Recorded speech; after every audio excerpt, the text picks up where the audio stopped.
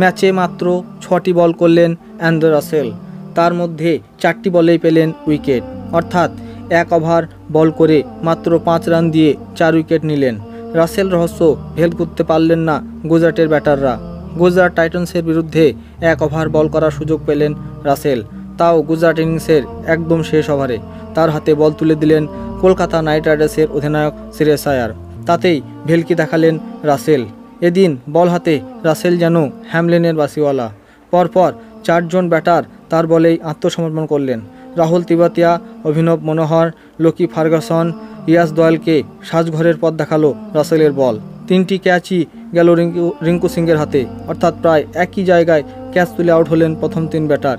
শেষে ইয়াস নিজেই ক্যাচ তুলে দিলেন রাসেলের হাতেই। উনিশ ওভারের শেষে হার্দিক পান্ড্যাদের রান ছিল পাঁচ উইকেটে একশো একান্ন।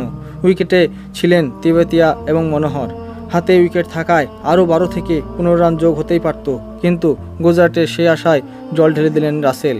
হ্যাটট্রিক হলো না, কিন্তু মাত্র পাঁচ রান দিলেন, আউট করলেন চার ব্যাটারকে। এবারের আইপিএলে দ্বিতীয় সেরা বোলিং করলেন ক্যারিবিয়ান অলরাউন্ডার। এক ম্যাচে পাঁচ উইকেট নিয়ে তার আগে রয়েছেন শুধু যুবচন্দ্র চাহাল।